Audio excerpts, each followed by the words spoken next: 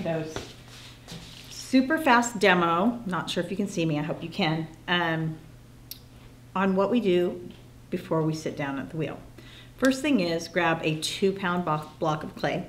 You'll grab that from the bin that is closer to the wall, not the one that's closer to the room that we usually use, but the one that's in back. The black bin with the yellow lid closer to the wall. It'll look something like this. Okay, first thing you want to do is you want to wedge it. And we're wedging it for a couple of reasons. This is reclaimed clay, and even though it's come out of the pug mill, those little S cracks that I was talking to you about, those can happen with clay that comes out of the pug mill. Additionally, this clay is really, um, it's really wet. It's actually really, really plastic, and you can see that it's sticking to my fingers. And so wedging will actually take some of that water out. You can see the water here on the canvas. All right, so you're gonna wedge it up really well. You can even change it here. Remember, wedging, push down, out, up.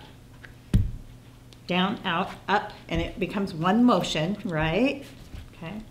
And you get something that looks like a little ram's head. And just keep doing that until you feel like you have clay that feels a little bit drier, feels really workable, and feels really consistent.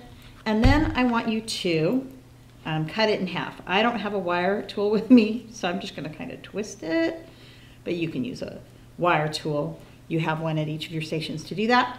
And you want two chunks, each one about a pound. And each day when you throw, you're getting two one pound balls of clay. You're gonna work with one until you've ruined it. And then you're gonna work with the other until you've ruined it. Um, we're not keeping anything at all this first week. We are just practicing and playing with the clay. All right, so once you've done that, once you've done your wedging, you're just gonna make each into a little ball, like that, and then you are going to be ready to go to your sign wheel.